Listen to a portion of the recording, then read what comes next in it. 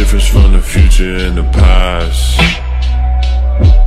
Just seen Batman, Lex Luthor, drag racing in a jag. Why? Started floating through the valley of the city of the angels gripping cash. Now I'm bleeding on the people, I forgot that I still got an open gash I'm the realest kid you never had, baby.